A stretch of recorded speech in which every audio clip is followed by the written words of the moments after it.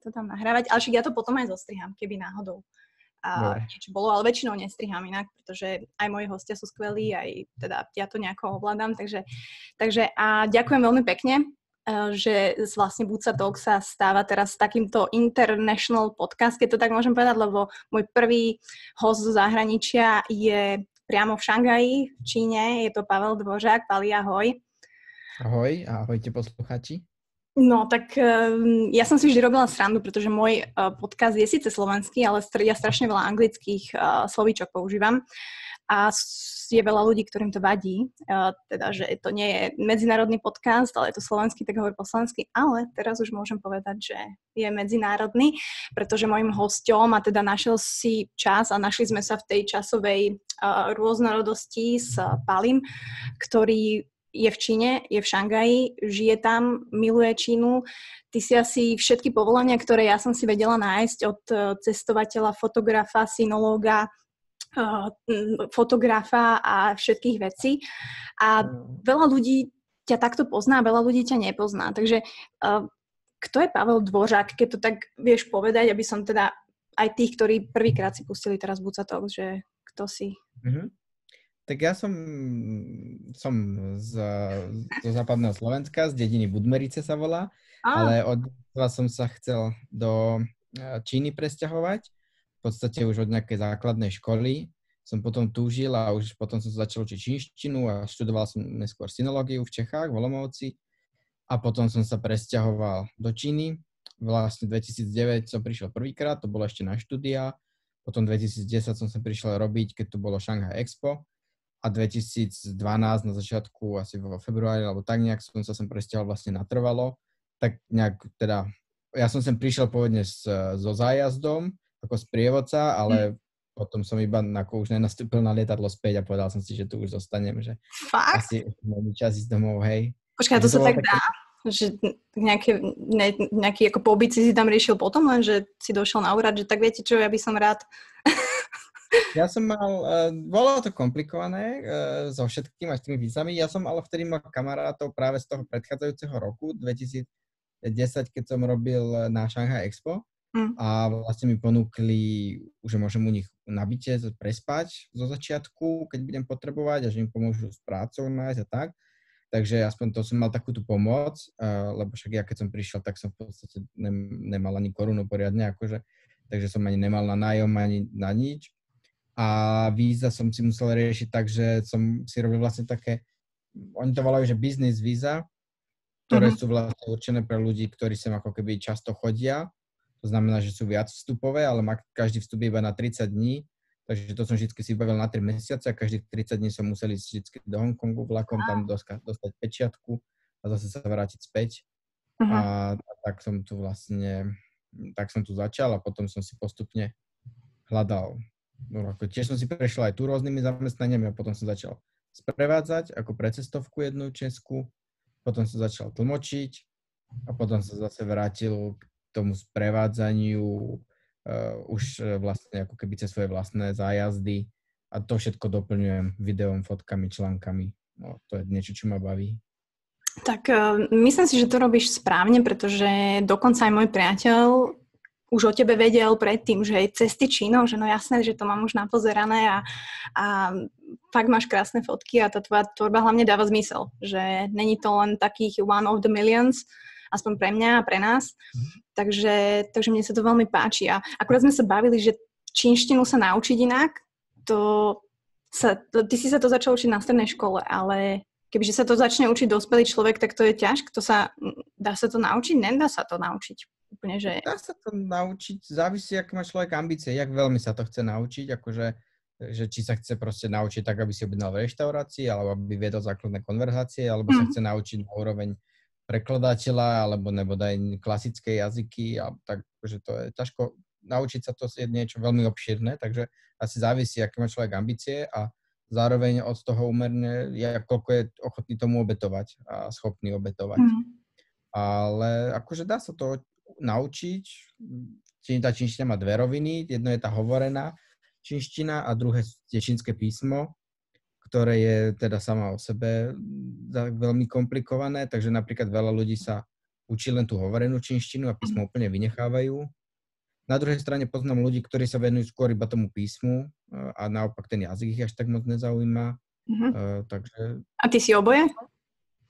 Ja som, áno, tak ja mám tú čínštinu, ja som síce vyštudoval sinológiu, a teda ako lingvistiku, čínštinu, uh, takže, ale nevenujem sa ako keby jazyku, že moc neprekladám, tlmočím, ale neprekladám a nerobím ani nejaké jazykovedy, takže pre mňa je tá čínština skôr taký nástroj v živote, než že by tá čínština sama o sebe bola môjim zamestnaním alebo prácou.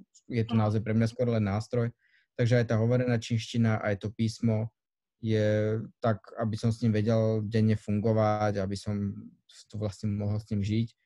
Ale keď by si mi dala nejaký klasický román, tak by som s ním mal problém mm-hmm. prečítať.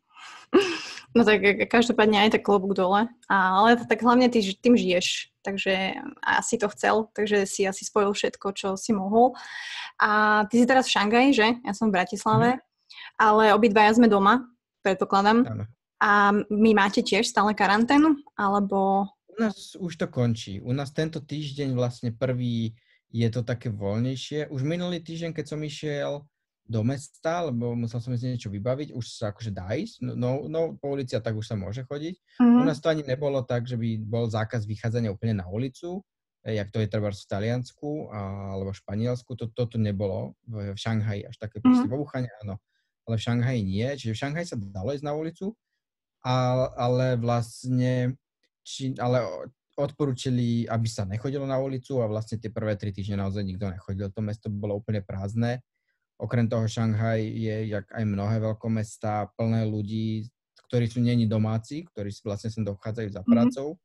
A ten, tu, keď vypukol koronavírus, tak to bolo počas čínskych sviatkov a všetci boli vlastne doma na tých svojich malomestách alebo dedinách a tak ďalej. Mm-hmm. Že na čínsky rok sám o sebe je Šanghaj vyprázdnený úplne a teraz tí ľudia sa vlastne nemohli vrátiť, eh, lebo v mnohých mestách boli karantény a nedalo sa chodiť medzi provinciami a mestami. Takže vlastne Tuto boli len domáci v Šanghaji, všetci títo vlastne ľudia zvonku tu neboli, to sú naozaj desiatky, milióny ľudí, cez 10 mm. miliónov ľudí určite. A e, zároveň aj tí Šanghajčania prvé týždne nechodili vôbec von, maximálne si nakúpiť.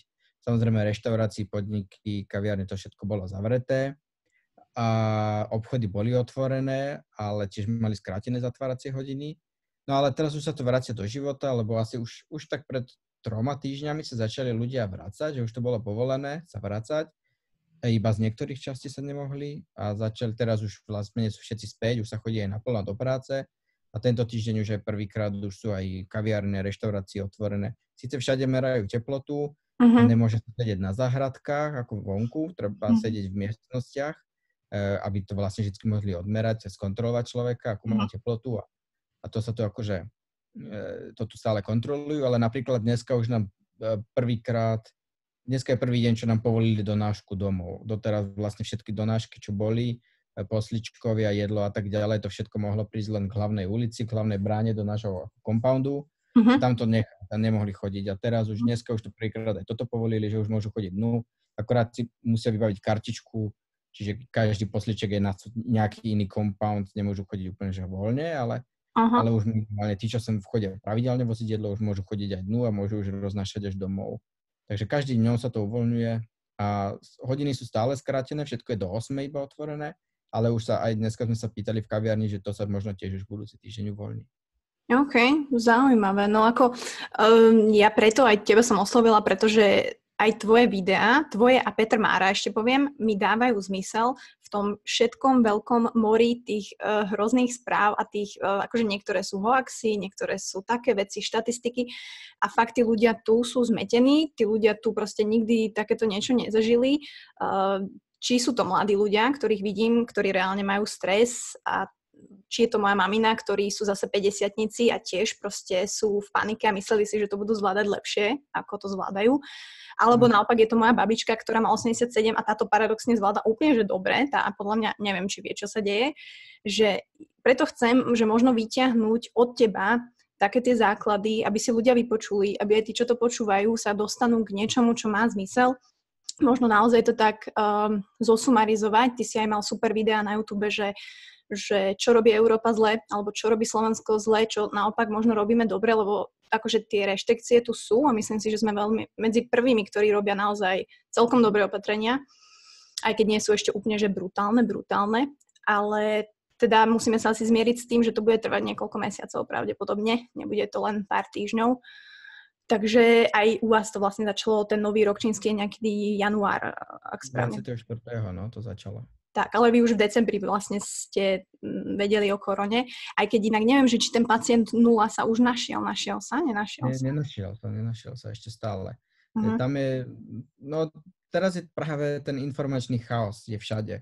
No. To, to je aj tu v Číne v médiách, aj v zahraničí v médiách a e, každá tá krajina si ešte tak nejak prihrieva svoju polievočku, takže to, to, tie informácie sú e, všeli ako chodia. Hej, moja sestra je teraz v Anglicku a tá je z toho zúfala, lebo tam je teraz strašná ako cenzúra informácií a tam ako je to každý status, čo dá na Facebook, tak jej vymažú. Wow. A, a je to proste také, takže a to isté aj tu v Číne, to je také komplikované aj s tým informáciám, hlavne z začiatku to bolo. A, ale ten pacient nula sa stále nehľadá a teraz práve sú tu, zase v Číne sa šíria teórie, ktoré vlastne aj čínska vláda ich ako oficiálne vyšetruje, že či zase ten pacient nula není náhodou z Ameriky, uh-huh. ale to je zase všetko taká teória a všetko, to je, to je to teraz naozaj taká proste taký chaos, že že nikto nevie. Ale minimálne, čo je ako keby potvrdené, že vlastne ten vírus už vlastne sa začínal objavovať na začiatku novembra, pravdepodobne možno už v oktobri. Vlastne ako keby bol, len sa o ňom nevedelo ešte, že čo to je. Uh-huh. OK.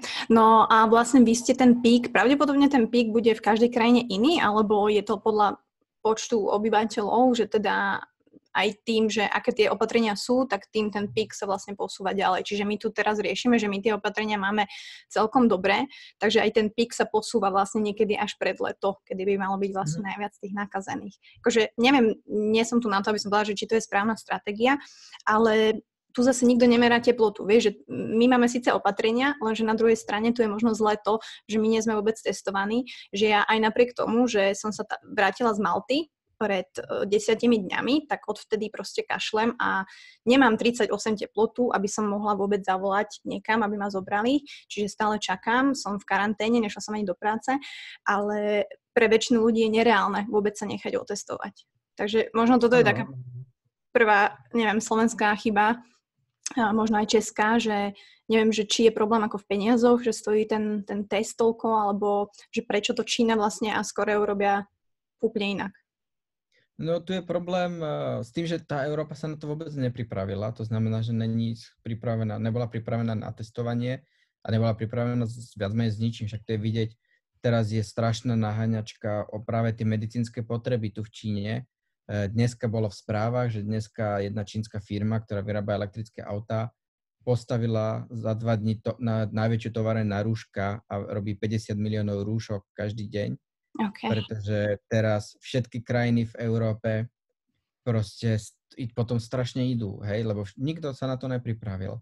A, tu, a teraz tu sú, za aj tu ceny strašne hore a za všetky továrne chcú 100% platby vopred a je to problém doviesť a je to proste celá Európa a aj Amerika zháňajú proste na poslednú chvíľu teraz tieto, tieto uh-huh. ochranné pomoci a to isté aj tie testy že vlastne tieto, tie testovanie je, je niekoľko druhov. Sú také malé testiky, ktoré je niečo ako tehotenský test, to trošku vyzerá. A to v podstate to je jednoduché otestovanie, aj lacné otestovanie.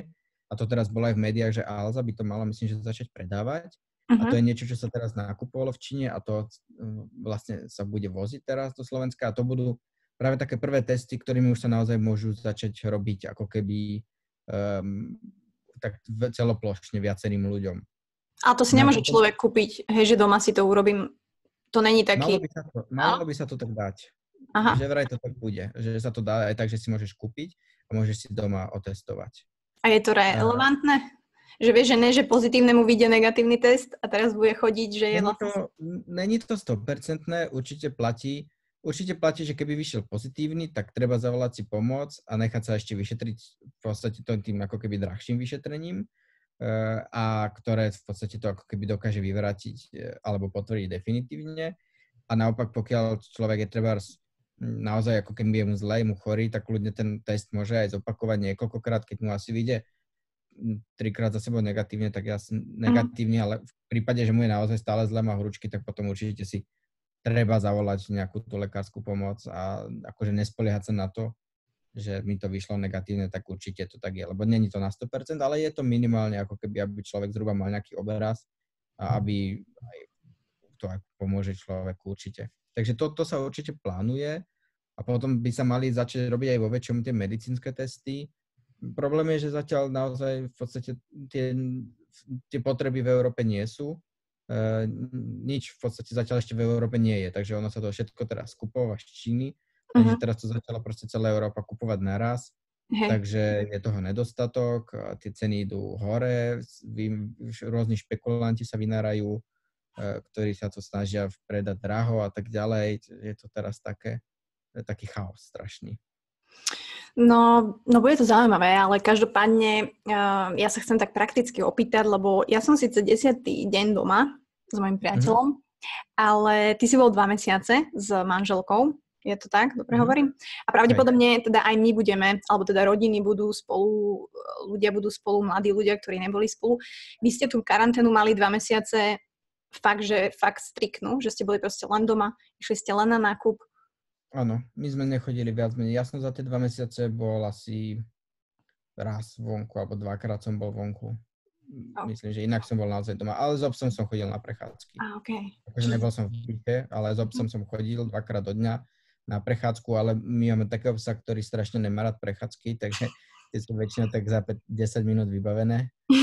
okay. A to bolo tak, eh, tak, takže inak sme doma viac menej stále, no. A dobre, a nejaký šport, akože nič, úplne nič?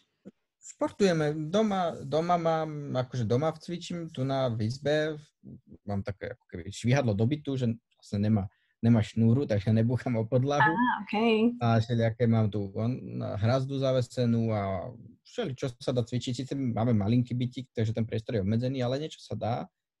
A potom párkrát som bol, práve keď z obsom sa chodím, tak som si zobral normálne švihadlo, tam som skákal. Uh-huh. A potom vlastne teraz už, jak už to je voľnejšie, tie posledné 2-3 týždne, tak už chodím aj na také celodenné prechádzky Šanghajom že tak ako 15 kilometrov si nachodím za deň, aby som trošku sa tak zašportoval si, ale nejak do posilovne, alebo takto sa ešte nedá, lebo tie sú ešte zavreté všetky. Pribral si niečo? No, myslím, že dosť. Fakt, ježiš. No to je tiež otázka týchto dní, tak nie len moja, ale tak aj ostatných, samozrejme. Ale tak že uvidíme, ak sa to bude vyvíjať. Ale tak máte jednoizbový bytik, alebo máš dvere, že. No tak môžeš prasknúť dverami, vieš, keď sa pohádate, že to není také hrozné. Ale... Ale musím povedať, že sme sa ešte neraz nepohádali za celý Fakt? čas. A to... My sme, my sme, lebo tým, že moja robota je strašne veľa cestovať, tak eh, my mm. práve, že sme mali problém, odkedy sme spolu, že som stále niekde preč. Hej, mne, nám, sa, nám sa stáva vlastne minulý rok, 2019, od septembra do novembra, sme spolu boli asi tak 4 dní dokopy. Že uh-huh. to, mhm. bolo, to je taká hlavná sezóna, takže toho bolo strašne veľa. No a teraz vlastne my sme išli december na Slovensko na sviatky a vrátili sme sa vlastne len dva dní predtým, než to začalo, táto korona tu na. A čiže sme vlastne 4 mesiace každý deň spolu a to sa nám ešte nikdy nestalo, odkedy sa poznáme. Ale ani raz sme sa nepohádali a akože myslím si, že nám to dobre padlo, takže sme sa aj zastavili a mm, prehodnotili si rôzne priority aj do budúcnosti, aj pracovné, aj súkromné a um, akože nestažujeme si. Mm, nám to celkom dobre padlo a snažíme sa nejak zabaviť a s tým, že ja som vlastne vždycky mal home office, keď, uh-huh. keď som není tak, tak robím z domu vždycky, Takže viac menej v tomto sa to nezmenilo, že som zvyknutý robiť z domu a mo- moja žena tiež. Si zvyknutý, no. Ako možno majú naozaj ten taký, nehovorím, že psychický problém, fakt ľudia, ktorí teda ten home office nemajú, hej, a teraz mm. reálne musíš zmeniť úplne svoj život, tak uh, nehovorím, že to je strach tu, ale skôr je to taká úzkosť, pretože je to presne tá úzkosť z toho, že tí ľudia nevedia, čo bude o ten mesiac, dva. A mm akože proste zoberú ti všetko vlastne, akože zoberú ti, no my si tu žijeme úplne hojne, hej, čiže my sme konzumná spoločnosť, ktorá, ja to hovorím tak, že mohla všetko a nemusela nič. A teraz vlastne nemôžeme všetko a je to úplne naopak, čiže s týmto sa možno tak trošku vyrovnať nejako psychicky, nešalieť. A, lebo akože čo si všímam, tak akože tu v Bratislave a Slováci, tak celkom sa mi to páči. Že myslela som si, že tí ľudia budú oveľa neohlo, mm, proste nerešpektovať tie, tie veci, ale celkom to rešpektujú. Čiže Samozrejme, fotky z jasnej, ako to sa tam všetci nahrnuli na lyžiarske stredisko asi pred pár dňami, tak to obletelo asi svet, ale týmto mm. pozdravujem všetkých, ale myslím si, že už sa také ne, nedeje a nebude diať. Čiže čakala som, že tí Slováci budú akože horší na tom. Ale ja nechcem samozrejme porovnávať, že Čínu, Číňanov a Slovákov, ale v čom možno ty vidíš, že tí ľudia v Číne sú iní ako Slováci, že, že mm-hmm. nielen, v, nielen s koronou, ale tak môže to byť samozrejme aj v, tým, v tomto. Tak ja začnem tak od začiatku, že veľa ľudí teda to zle znáša, toto, toto byť doma. Podľa mňa ľudia si strašne od, odvykli byť sami so sebou sami proste. Ľudia sú strašne naučení mať neustále nejaké rozptýlenia, že proste idem do práce, z práce idem za kamarátmi, alebo do krčmy, alebo do reštaurácie a potom doma si pustím Netflix alebo telku a v každú jednu pauzu, ktorú by som medzi tým mohol byť sám so sebou, tak zabijem na mobile alebo niečím iným sa zabávam, že v podstate ľudia sú takí navyknutí, že sú, majú furt tu, ako sú zapojení v tom neustálom toku niečoho a ľudia strašne zabudli byť, byť sami so sebou, alebo sa hrať s deťmi, alebo len tak ako sedieť a nudiť sa, čož v podstate Aha. sedieť a nudiť sa častokrát priniesie tie najlepšie nápady a mnohé diela vyšli z nudy. Takže to je, podľa mňa to je taká dôležitá vlastnosť, lebo to rozvíja aj osobnosť. E, keď človek sa proste naučí byť sám so sebou, len tak sedieť a nejak ako e, nemusí byť, mať stále nejakú zábavu, a je to ale, je strašne ľahké byť, príjmať informácie non-stop a mať stále byť, e, niečo konzumovať a stále pozerať na nejaké obrázky sa myhatajúce alebo počúvať niečo alebo niečo také. A čím viac to ľudia robia, tým ťažšie sa im potom odpája od toho. A keď sú takýmto šokom zrazu postavení pre takúto situáciu, tak to môže byť pre mnohých dosť veľká výzva, ktorá si myslím ale, že v konečnom dôsledku v iba ako v tomto ohľade môže mať pozitívne ako keby následky, lebo ľudia sa trošku ako keby tak trošku viacej si začnú byť ako keby tá, tá mindfulness alebo takéto uvedomenie si samé seba, že sa to trošku vráti medzi ľudí a ľudia sú proste prinútení konečne zase trošku rozmýšľať nad svojimi mhm. životmi a nie len byť na bežiacom páse. Takže akože v tomto si myslím, že je to síce tvrdý, tvrdé narazenie pre mnohých, ale asi si myslím, že pre mnohých to bolo aj už veľmi ako keby potrebné a že to ako v mhm. spoločnosti veľmi pomôže. Samozrejme má to aj obrovské ceny, hlavne teda tieto živobytie mnohých ľudí je dosť ohrozené, mm-hmm. takže to dúfam, že bude problém, ktorý sa nejak podarí vyriešiť. No. A k tej otázke, že v čom sú Číňania iní, mm, myslím si, že Číňania tak nejak neberú veci samozrejme, že to je práve, jak si spomínala, že sme taká spoločnosť, ktorá žila v obrovskom blahobytu, blahobite a ľudia to začali považovať za takú samozrejmosť, že v podstate ľudia majú u nás v tej západnej spoločnosti taký pocit, že to je moje právo e, mať bohatstvo, a je moje právo byť zdravý, a je to moje právo byť slobodný, a je to moje právo veľa zarábať, a je to moje právo cestovať. Ale ono to není vlastne naše právo, to je, také, to je privilegium. A viac menej je to šťastie, že to máme, pretože v tej spoločnosti historicky bolo len veľmi málo období, kedy ľudia toto šťastie mali. A my máme naozaj šťastie, že sme v podstate, že sa žilo 30 rokov v obrovskom miery a blahobite a bohatnutiu a, a hlavne v tom západnom svete ľudia na to naozaj tak navykli a začali to povedať strašne samozrejme a keď im to bolo odopreté, tak to začali brať ako krivdu. A to nemyslím ako odopreté nejakou uh, agresívnou silou, že by im niekto okradol alebo zavrel alebo tak, ale odopreté aj vývojom života, že proste ochoreli alebo nemali, nedostali, nemali dosť peňazí na dovolenku alebo tak, tak sa cítili ako ukrátení. a toto si myslím, že toto zmýšľanie v Číne není, pretože tí Číňania boli ešte prednedávnom strašne chudobní. Ja mám naozaj kamarátov alebo šoférov, s ktorými robím na mojich zájazdoch, čo sú 50 a oni, keď boli deti, tak o, o, obiedali kôru zo stromov a bylinky hľadali a, a nebolo čo jesť. Tu bol proste hladomor ešte pred nedávnom. A ľudia boli strašne chudobní. Tuto mať na na auto bolo nemysliteľné pre väčšinu ľudí ešte pred 15 rokmi. A pred 5, 10, pred 10 rokmi Číňania ešte vôbec necestovali, nevedeli, čo to je cestovať. Oni cestujú naozaj tak vo veľkom posledných 5 rokov, možno 10, mm. tí, tí ako keby bohačia z veľkých miest.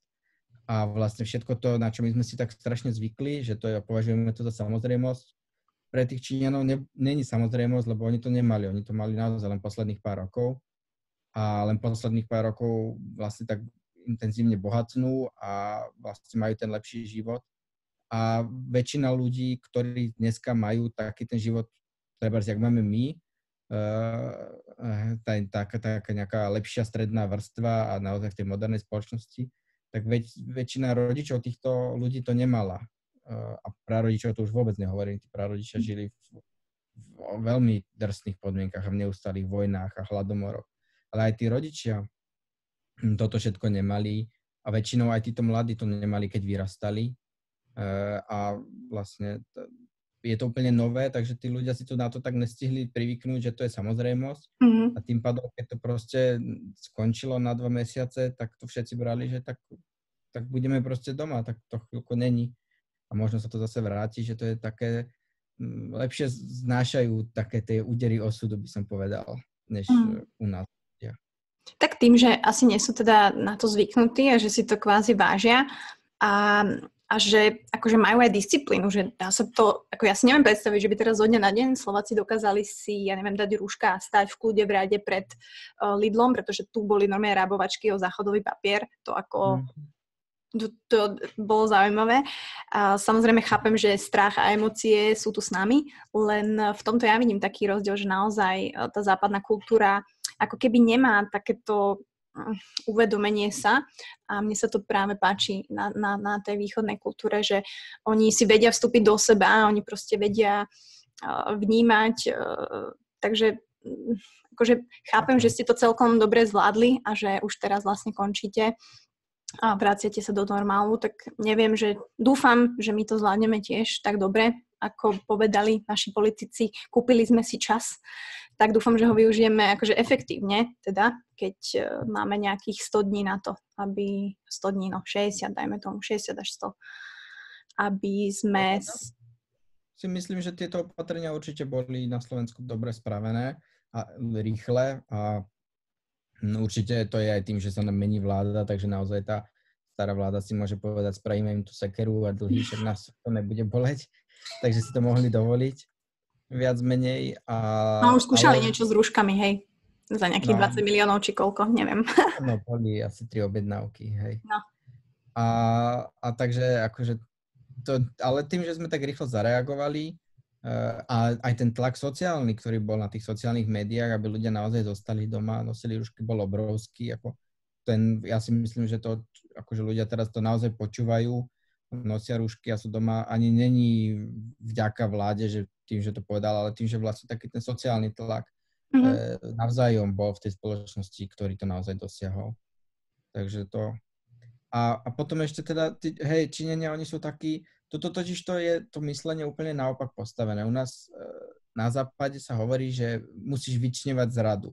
Hej, alebo think outside the box, alebo proste buď trošku, buď vždycky ten, ktorý vyčneva zradu, ale Konfucius vždy hovoril napríklad, že strom, ktorý vyčneva z lesa, sa zlomí pod náporom vetra.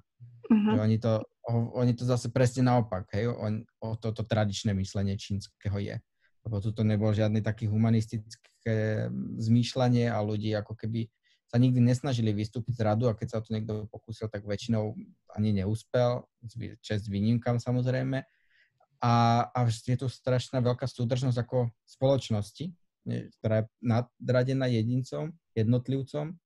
A taktiež, čo je obrovský rozdiel, že Číňania majú obrovskú dôveru k vláde a k štátu. uh-huh. že to zvládne, že sa o nich postará. Zatiaľ, čo u nás je nedôvera k štátu obrovská zase, hej, štát, nikto štátu nedôveruje.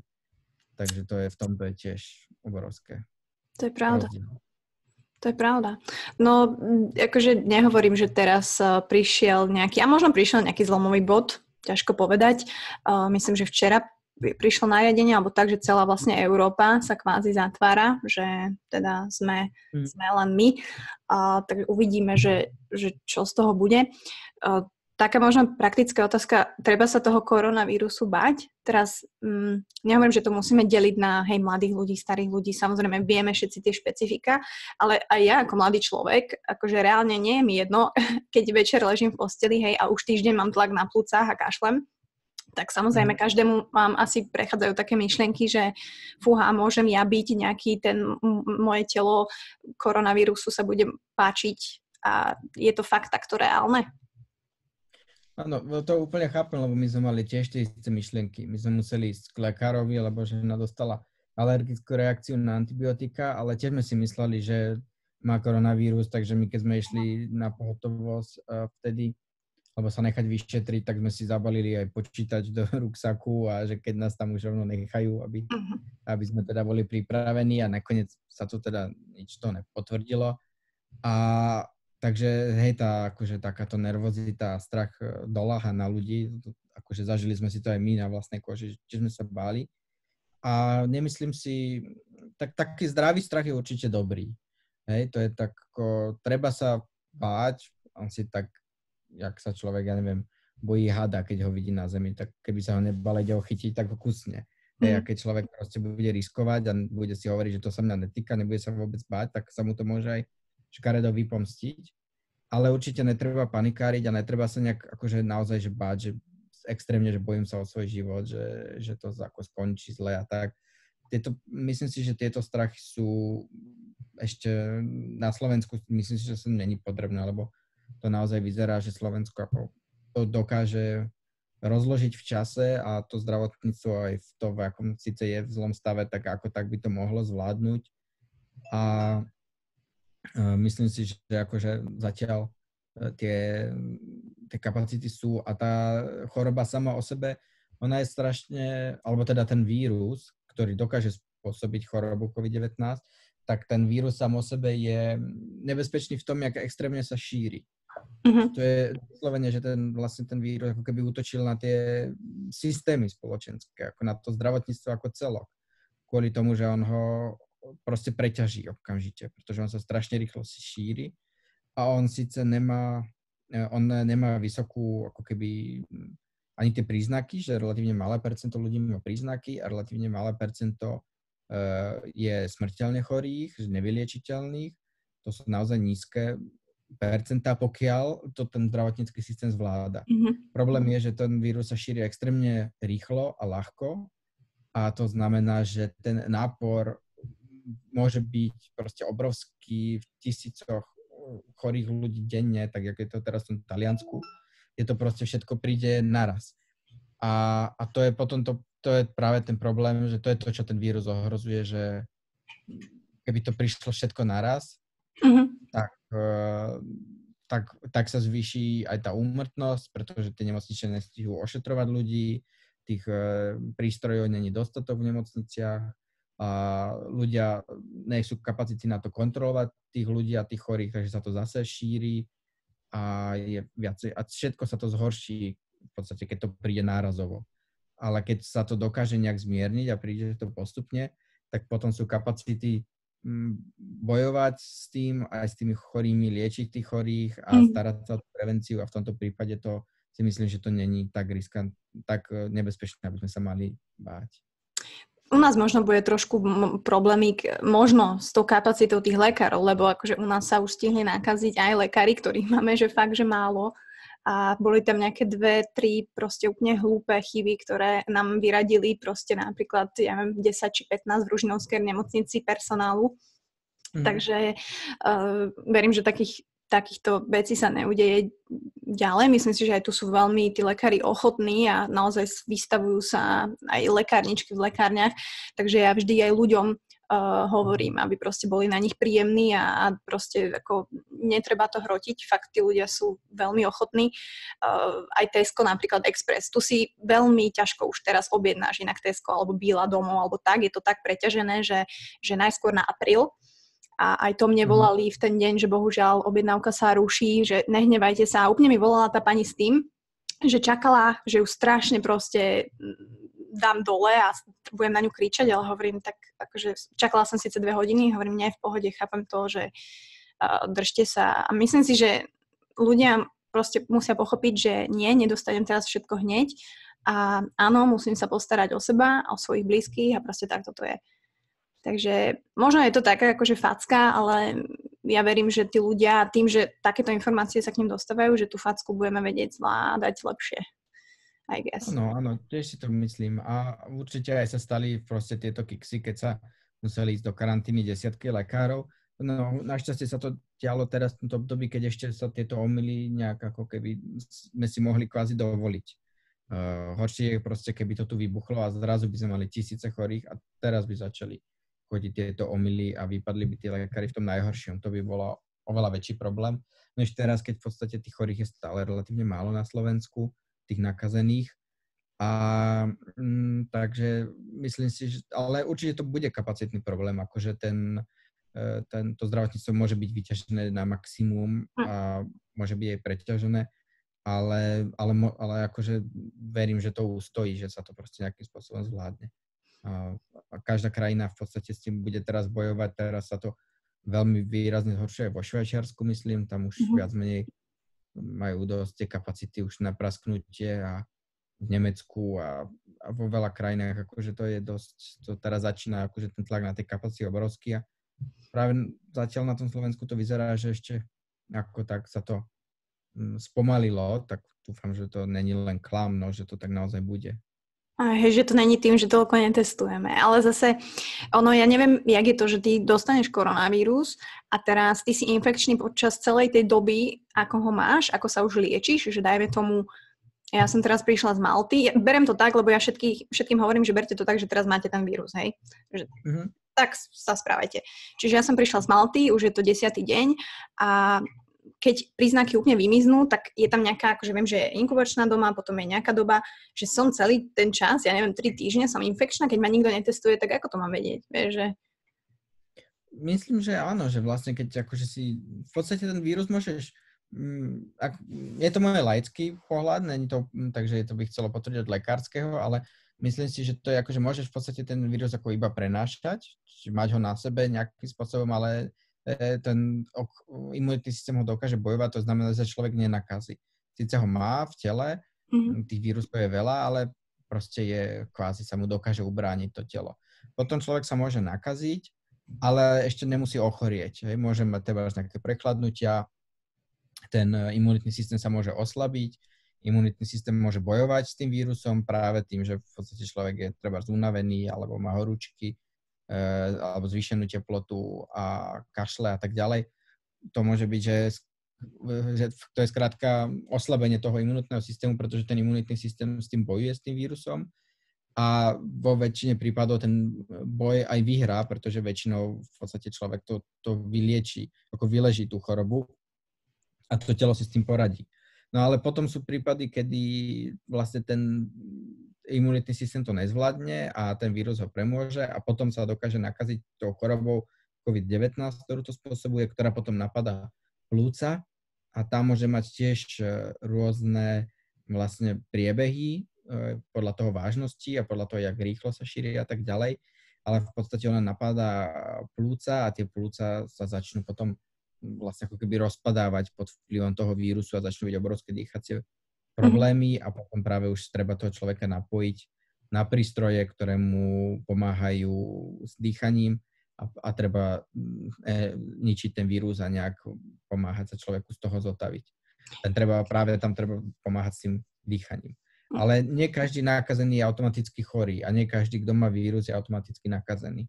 Ale keď je človek nakazený, tak pravdepodobne počas dobu celého nakazenia je stále ten prenášač toho vírusu. Uh-huh tam som niekde čítala, že to je niekedy aj 36 dní, takže uh, ťažko polemizovať, treba povedať, že my nie sme odborníci, nie sme lekári, uh, ale treba povedať, že aj normálnou chrípkou sa dokážeš takto dostať a na, neviem, plúcnú ventiláciu, hej, že aj normálna chrípka vie ísť, vie zájsť až tak ďaleko, Takže naozaj to netreba teraz vnímať tak, že, že panika, stres a korona je naozaj smrtiaca epidémia. Tak to nie je. A myslím si, že budeme radi, ak v lete sa vrátime do normálu. E, je ešte jedna taká teória, že v lete by to malo ustúpiť a na jeseň zase nejako možný pík. Je toto predikcia aj v Číne?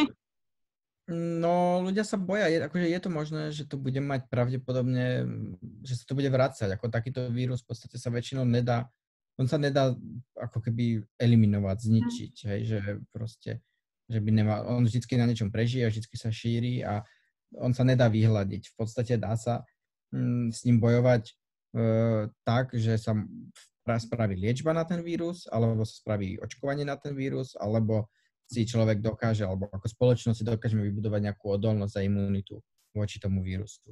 V podstate, ale e, najpravdepodobnejšie teda a najlepšie riešenie je tá liečba a očkovanie, ktoré snať príde a potom v podstate sa dá e, s tým vírusom oveľa. V tom prípade to vieme ako keby ponížiť naozaj na obyčajnú, síce vysoko nakazlivú, ale ľahko liečiteľnú chrípku. Pretože aj chrípka ešte pred 100 rokmi zabíjala strašne veľa ľudí a bola viac menej nelečiteľná. To bola nebezpečná choroba. Dneska už to není nebezpečná mm-hmm. choroba. Dneska to vieme vyliečiť a pokiaľ sa nám zhorší, tak e, ideme tiež k lekárovi a ten nám predpíše lieky. A, ale samozrejme aj chrípka vie prerásť do veľkého zápalu plúc a do plúcnych ochorení. A ten, tento vírus takisto je nebezpečnejší proti chrípke tým, že sa rýchlejšie šíri a rýchlejšie prežíva a v podstate ako keby tá um, ľudí, ktorí, u ktorých sa spustí to ochorenie plúcne je väčšie množstvo než plúcne ochorenia pri chrípke. Takže to je to nebezpečné, ale pokiaľ by sa našiel liek alebo nejaké to očkovanie, tak sa proti tomu dá veľmi efektívne bojovať. A pokiaľ by sa to nepodarilo, tak ako keby beh na dlhé trate je aj nejaká E, ako keby imunita ako spoločnosti alebo odolnosť voči tomu, len to je teória, to, to je niečo, čo môže trvať roky a je to skôr ako sa, lebo Angličania majú túto, teda teraz je túto teóriu, že si vybudujeme ako keby imunitu spoločenskú, ale vlastne činenia sa k tomu vyjadrili, že e, to není spôsob boja proti koronavírusu, ale je to vlastne ako keby jeden z tých horších scenárov, ako to môže dopadnúť, keď sa nám nepodarí vyhrať nad vírusom. Že keď sa nám nepodarí spraviť liek a nepodarí sa nám spraviť očkovanie, tak potom nám zostane len si vybudovať ako spoločnosť imunitu za ale obrovskú cenu e, na životoch a na zdraví ako spoločnosti, že to není riešenie na krízu, ale je to dôsledok nevyriešenej krízy. Uh-huh. Ale takže oni sa snažia naplno, v podstate veľa štátov sa snaží vyvinúť tú, to očkovanie, USA, Čína, aj Nemecko, veľmi intenzívne. Čína už dneska začína hľadať dobrovoľníkov na testovanie tých očkovaní. E, USA tiež už začína s klinickými testami každú chvíľu. Nemci sú pravdepodobne tiež ďaleko, mm. takže predpokladá sa, že to očkovanie akože bude relatívne skoro, tak dúfame všetci. A wow. treba sa chrániť nejakú, asi treba aj v ľuďoch vybudovať nejaký ten, taký ten e, nejakú elementárnu od seba zachoviť, toho sa chrániť, že e, napríklad tu v Ázii je bežné, že ľudia nosia rúšku, aj keď není nejaký koronavírus, hej, uh-huh. napríklad v dopravných prostriedkoch, alebo na letiska, alebo na miestach, kde sú proste davy ľudí, tak ľudia tam proste rúšku nosia, lebo tam sú davy ľudí a, a môže tam byť hocičo. Ten, proste tie vírusy sa tam sú a všelijaké a, a ne, neboli nejak, nebol tu nejaký tak extrémne nákatlivý vírus ako tento súčasný koronavírus, že ti naozaj hrozí, že sa tam nakazíš, ale, ale vždycky hrozí, že tam nieč, nejaký vírus poletuje. Jasne. Ľudia boli zvyknutí nosiť rúšky vždycky a to je asi aj zvyk, ktorý ako aj my na západnom svete by sme si mali vybudovať, že proste keď ideme do narvatej električky, tak mať zakryté ústa a nos je celkom dobré. Tak eh, hej, tuto sú tie predsudky trošku niekde inde, takže ja viem, že veľa Slovákov, keď vidí práve takto nejakých eh, zahraničných práve Číňanov, ktorí majú tie rúšky aj tu v Bratislave, napríklad v starom meste sa išli prejsť, majú ich. Takže tuto trošku tie predsudky stále máme. A možno teraz sa s nimi naučíme pracovať, že konečne. Uh, akože verím, že áno, no ale skôr teraz, jak je teraz tak ticho a tí ľudia vlastne riešia okrem toho, že zostať zdraví a mm, proste pomôcť svojim najbližším, tak samozrejme ten biznis ide, ide dole vodou. Ako to ovplyvnilo tvoj biznis, lebo tak ty máš, ty si sprievodca, máš cesty činov, robíš zájazdy, robíš rôzne prednášky, uh, tak asi si si vedela aj dopredu vypočítať, že do pekla tak toto bude blbé, alebo ako to e- efektlo tvoj biznis? No je to aj, nás to zasiahlo veľmi silno. My sme v podstate, keď sa to prvýkrát objavilo v tom januári v správach, uh, že to je ako vážne a že teda máme zostať doma, tak prvé, čo ma napadlo, že Ježiš Maria, Dúfam, že nebudem musieť rušiť aprílové cesty, čo som mal najbližšie, no ale to v podstate v priebehu dvoch týždňov sa ukázalo, že ich budem musieť zrušiť a v priebehu mesiaca už som musel zrušiť hm, vlastne celý prvý pol rok a teraz moc nepredpokladám ani s tými jesennými, že sa nejak budú uskutočniť, uh-huh. že ako možno, ak všetko pôjde dobre, tak nejaký novembrovú cestu, že už by teoreticky sa dala. No problém je, že aj keď sa to skončí a dá, ako keby ľudia, ten život sa nejak vráti do starých kolej, tak za A ľudia najprv nebudú mať peniaze na dovolenky a za B ľudia sa budú báť aj chodiť cestovať. Takže to, to chvíľku potrvá, kým turizmus proste zase nejak tak ožije. Takže v tomto to neviem, jak to, jak to ako ke, kedy to prejde. Ako s rokom 2020 moc nepočítam, akože niečo sa bude diať. Tú sezónu považujem viac menej uh-huh. za úplne mŕtvu, čo sa týka turizmu. A aj som to písal niektorým známym, ktorí mali cestovné kancelárie alebo agentúry a dlho tomu nechceli veriť, že uh-huh. to môže ako keby ten turizmus zasa zastaviť a, a teraz už tomu, teda ich to zaskočilo mnohých. A takže v tomto to je problém. Potom možno začne, pravdepodobne, keď sa to nejak začne už ako keby to minimálne nejak obchod a fungovať aspoň priemysel, podniky a tak, tak asi možno sa mi vráti nejaké tlmočenie, že bude treba niečo pretlmočiť a uh, takže tak to verím, že začne chodiť tak ako snáď pred letom. A plus píšem články do novín a nejaké videá občas robím do televízie, ale to sú všetko také, no niečo sme mali našetrené, je uh-huh. niečo, toto, bude to ťažký rok, no ešte takto počítame si tabulky, že aké musíme mať výdaje nakoľko nám to vyjde a koľko musíme niekde zohnať nejaké ďalšie príjmy a mm, je to také... Čiže budete, budete šetriť, hej? Budeš šetriť a budeš siahať do zásob a hmm. hľadať uh, nejaký plán C, lebo tak B máš tlmočenia tak, čiže ešte niečo navyše, hej? Áno, no, no plán C, plán, plán B je, že teda, že tie videá, články, tlmočenie, ak bude, a možno bude už treba robiť aj nejaké dodávky z Číny, že sa začnú chodiť tí ľudia, tak to je plán B. A plán C je potom, keby toto všetko nevyšlo, už naozaj bude kríza, takže začnem hľadať robotu nejakú tu v Šanghaji mm-hmm. na mhm. čas, že proste nechám niekde zamestnať, lebo tu sa už robí, takže... Normálne. To, sa by to, no, tu sa to dá. Mm. Takže, a, veľa, a myslím si, že tu bude asi aj nedostatok ako keby zahraničných pracovníkov jednu dobu, lebo veľa ľudí sa sem proste nebude môcť vrátiť. Takže... Mm-hmm takže potom to bude ďalej akože plán C, že keby nič nevyšlo, tak proste si na, začnem hľadať robotu v Šanghaji. Ty si hovoril, že vlastne nepočítaš s, jasné, že s tou letnou alebo tou jarnou sezónou, možno ani jesennou, čiže ako keby ten rok 2020 vypadol, uh, hlavne teda turizmus, aj tie cestovné agentúry a tak, tie budú mať problém asi kokos no, po celom svete. Ale ja som sa inak stretla s názormi, akože ja to poviem, že povedz mi, čo si o tom myslíš, pretože mňa to možno aj mrzí, pretože mňa, mne sa Čína páči, ja Čínu obdivujem a nemyslím si, že OK, začalo to v Číne, tak veľa ľudí má ten názor, že, že Číňania vlastne za to môžu, že to rozniesli po svete a tak ďalej.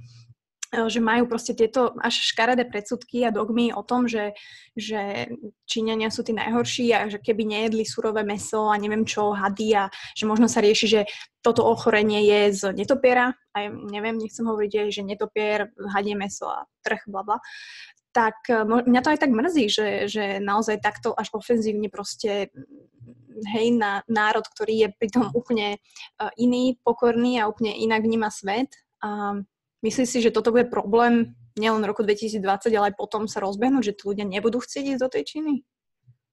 Myslím, že nie, pretože to pre Čínu není nový problém, pretože tá Čína s týmito predsudkami bojuje už strašne dlho.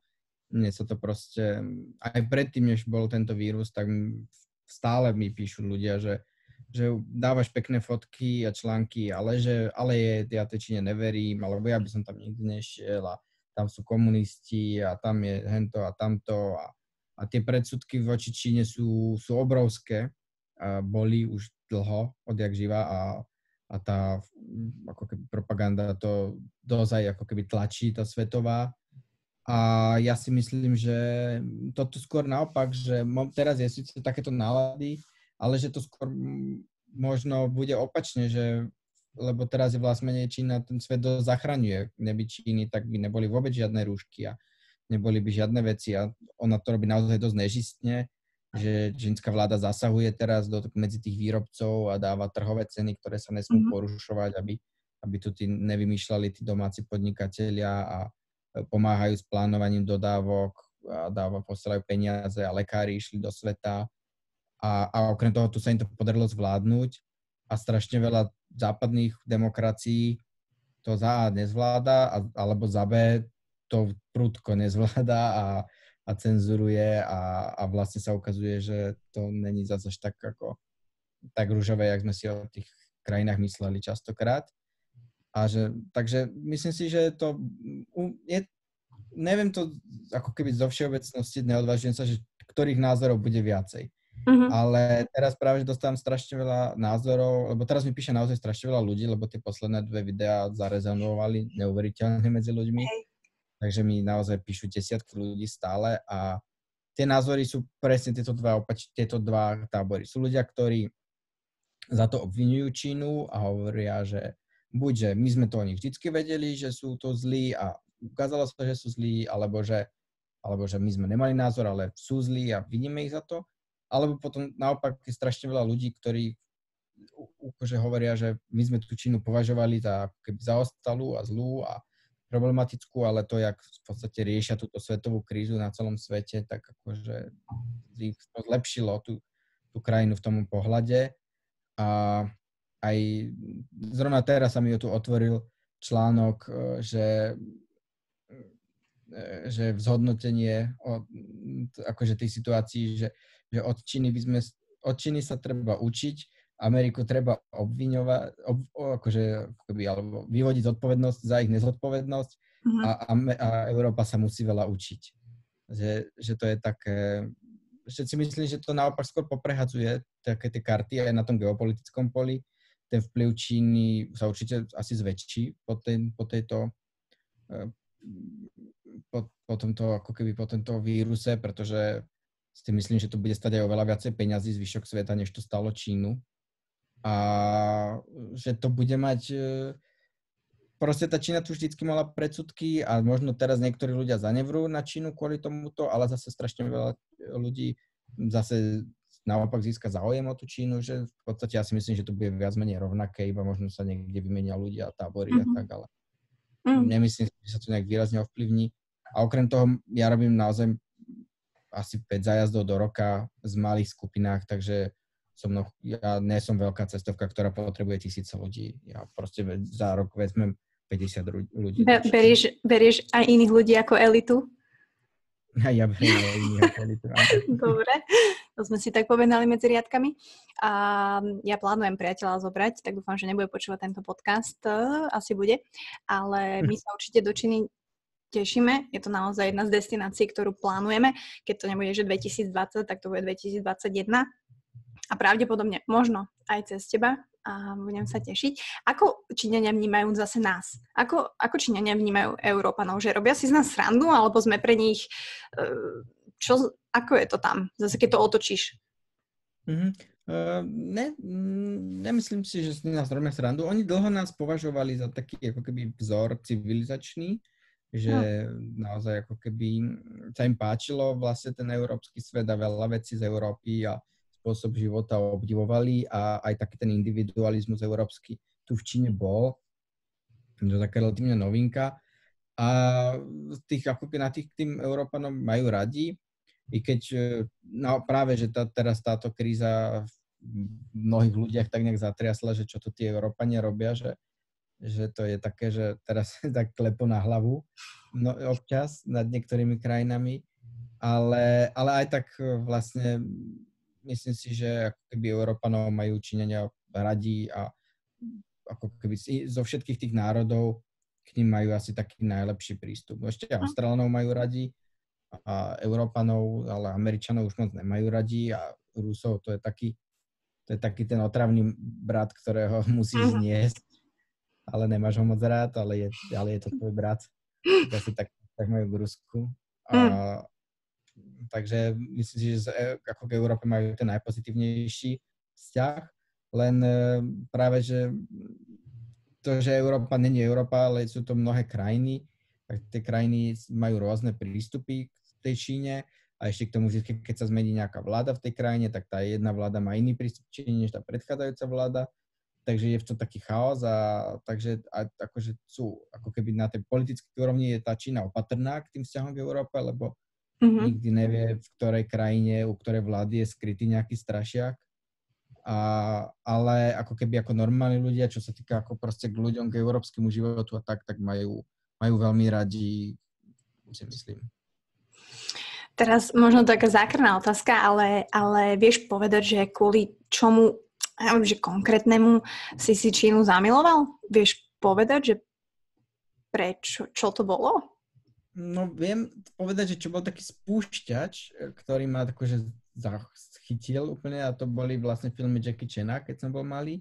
Mm. Tak to ma naozaj tak proste, do tých som sa úplne zamiloval a všetky som ich pozeral dokola a skrz to som sa potom dostal ďalej E, k čínštine a k čaju a tej čínskej kultúre a všetko to bolo také fascinujúce, také neznáme, také ja, viac menej v, o tej Číne som vtedy nič nevedel a málo kde sa dalo aj niečo zistiť. Hej, žiadny Google a YouTube, uh-huh. ktorý ešte neboli, nedalo sa proste si pozrieť, ako to tu vyzerá. Vôbec som nemal predstavu, čo to, čo tu môže byť, ako to tu môže vyzerať. To bolo naozaj ako keby také tajomné, takže to ma na to strašne tak lákalo a potom aj keď som to začal študovať, tak ma strašne zaujalo, že to je strašne proste tak bohatá kultúra, ale aj ako keby ten, tie, tie systém ľudí a to zmyšľanie ľudí a všetko je to tak strašne odlišné a tak strašne veľké a tak strašne komplikované, že je, sa v tom dá prehrabovať celý život a, a človek vždy natrafí niečo, nie, na niečo nové, niečo zaujímavé. Takže si čajový typ, alebo si aj kavičkár, alebo tam vyslovene idete len tú čajovú kultúru a tie... Ne, ne, ne. Ja som tak asi 50-50 by som povedal. Mám také obdobie, keď pijem skoro iba kávu, zase mám obdobie, keď pijem iba čaj. A, ale v podstate vo väčšinu, po väčšinu dní mám aj čaj, aj kávu. Že Aby po... vieš povedať alebo poradiť nám tu, barbarom, ktorí si zoberú ten sačkový čaj z obchodu, že ako by sa mal správne piť čaj, alebo teda naozaj každý čaj, ktorý je, že sypaný, je dobrý, alebo je nejaký správny rituál, Nie. ktorý... Tie čaje sú, tých, tých čajov je strašne veľa druhov a e, aj vlastne kvalit a akosti, to znamená, že nie každý sypaný je dobrý, aj ako keby aj, mm, aj tých... E, ja, ako ten čaj je veľmi podobný vínu, by som povedal. Hej, ten, ten sypaný čaj, teda ten sáčkový čaj, čo u nás si dávame do čaju, tak to je taký, to je také čučo, to je taký krabičak, víno, ale potom, keď už máme tie, ako keby teda tie sypané normálne čaje, čajové lístky, tak to už sú tie vína, ale tiež nie každé víno je dobré. Môžeš natrafiť aj na hnusné víno a takisto aj na ako zlý mhm. čaj. A naopak tie, vín, tie čaje niekedy môžu mať aj astronomické hodnoty, že niektoré tie čaje sú strašne vzácne a drahé a niektoré tie čaje sú bežné, proste taká trhová, také proste víno za 7 eur, hej, tak taký čaj proste, že ktorý môžeš piť každý deň ale mm, takže to je, je toho strašne veľa, ako je to také komplikované, ale napríklad na Facebooku je e, výborná skupina milovníci čaju, sa to tuším, že volá, alebo tak nejak. A to je strašne živá komunita ľudí, ktorí sú ako keby zaujímajú sa o čaj a ja som v tej skupine na Facebooku a tam ľudia postujú fotky a zdieľajú a mm. všetko možné a tam to naozaj žije, že keď človeka to naozaj zaujíma, tak odporúčam ísť treba do tej skupiny a tam nájde toho strašne veľa očají. A potom nájsť aj nejakých ako keby ľudí, ktorí predávajú ten čaj kvalitne a dobrý napríklad čínsky čaj predáva kamarát z Modry, on je tiež e, čínštinár, tlmočník, ale má v Bratislave čajový bar na hrade uh-huh. a má akože aj taký e-shop, kde predáva čaje z Číny a tak, tak tam sa dajú treba z neho získať veľmi dobré čaje. On, on to sám vozí z Číny a má veľmi dobré ceny. Ale aj v Trnave viem, že je chalan, e, ktorý mal takéto čajky z Číny, ktorý predá v Bratislave ich určite strašne veľa. Teraz už to dá zohnať, keď teraz asi neviem, teda v tomto období, ale a tak možno kuriérom, hej, že aj tu sa to tak rozmáha, že donáška, necháme si, celkom ľudia sa s tým podľa mňa zžívajú.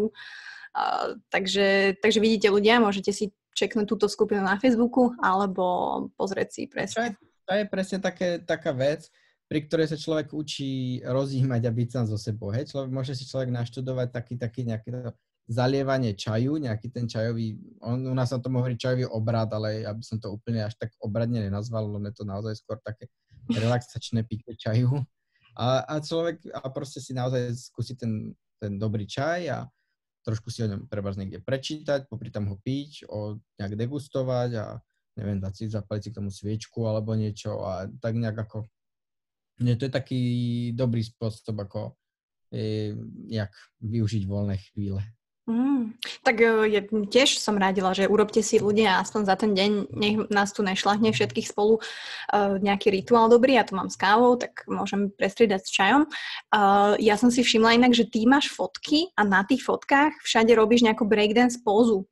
Ty mm. si bývalý breakdancer, alebo nejak, lebo ja som ano. tak vyslúžili breakdancer, ale, ale ty ako? Áno, ja som breakdancer na dôchodku. Ja, my sme sa volali Quattro, Oh. Trnave sme breakovali a vlastne chalani od nás potom založili Pastels.